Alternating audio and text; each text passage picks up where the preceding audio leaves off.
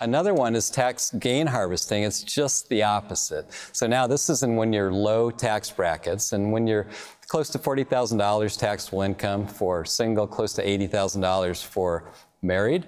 Then when you sell a stock, a long-term stock capital gain, you actually pay zero tax. You may pay state tax, but you pay zero federal tax. Quick example. So let's say you're married, taxable income's $50,000. You can actually sell about $27,000 worth of gain to get to that $77,000 threshold. You'll pay zero federal tax. This is particularly useful if you need to rebalance or you need funds and you're afraid to sell them because you're going to pay tax. Well, guess what? You may not have to pay tax uh, in, in that situation. Yeah, you have to take a look at your tax bracket, right? Because look at taxable income, line 43 on your tax return. So if you're $80,000, if you're single or married, $40,000 roughly, there's zero capital gains rates here. So for those of you that are retired, that are living off of your assets, really start taking a look at this because if you have gains, like Al said, you can sell up to these thresholds and pay zero tax. If you really like the security, sell it and buy it back because you're just increasing your overall tax tax basis. Now, this only really we're talking about assets in this category here. So this is outside of a retirement account. That only works for assets outside of a retirement account. So we call those like taxable assets.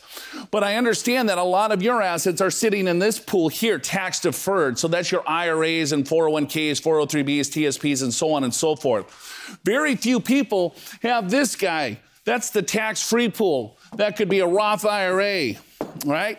So what we look at is to try to get diversity. We all understand diversification, stocks, bonds, real estate, precious metals, but there's very little tax diversification going on in your overall situation. Because if all of my money is sitting in this account, every last dollar is going to be taxed at the highest of rates, ordinary income. But guess what? The tax code has changed. Those ordinary income rates are probably one of the lowest they've ever been in history. So it might make sense to take a little extra out of these accounts over the next couple of years just to pay the lower tax. Better yet, you might want to put them up here into a tax free environment. Yes, you pay the tax going up here, but you have to look at what tax bracket are you in now? What do you project to be in the future? Does it make sense to have assets to forever grow tax free? The answer is probably yes, because this is how tax rates work. They stair step. So last year we had a 10%, we had 15, we had 25, 28, 33, 35, and then this top one, 39.6. You get the gist. But this 15 turned to 12. This 25 turned to 22%. This 28% turned to 24. As you can see, these are huge tax savings that we can implement. So when you're looking at, hey, should I take money from this account and move it up here? The answer could be yes, because the tax rates have changed.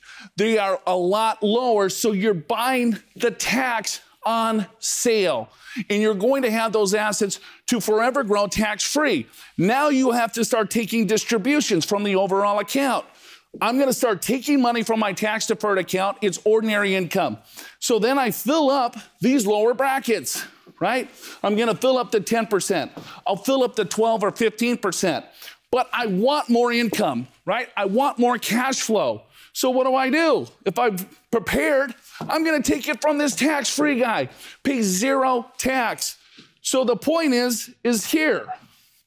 Now, I'm living up in these high tax brackets, but I'm paying very little in tax. Does this make any sense whatsoever? Absolutely, it does. You love this stuff.